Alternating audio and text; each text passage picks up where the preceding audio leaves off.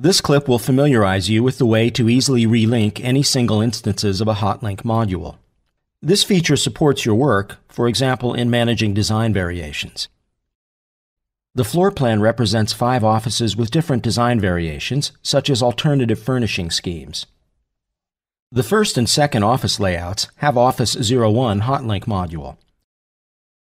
The third and fourth offices have the Office 02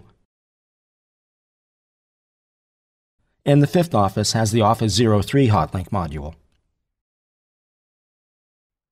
Let's select the Office 01 module in the second office.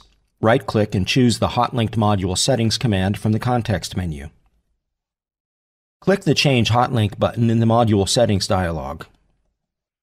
The Choose Hotlink dialog appears where the hotlinks attached to the file are listed.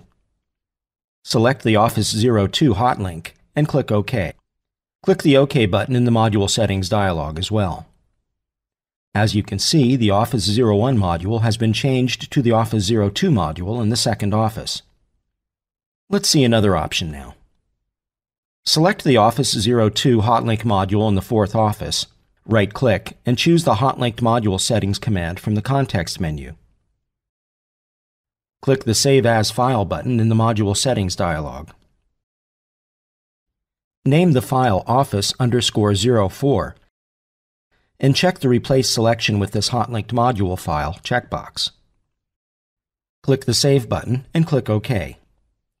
By using this option, you can have a new module which lets you edit it independently of the original model.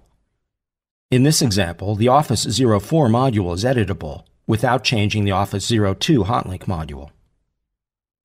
Now let's introduce you to a new archiving option activate the file, Save As menu command.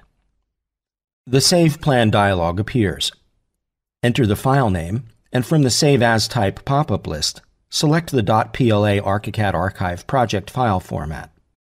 Click the Options button, and check the Break Nested Hotlinks and XREFs checkbox to ensure that all linked elements, such as hotlink modules and attached DWG external references, become part of the project. Click OK and click the Save button.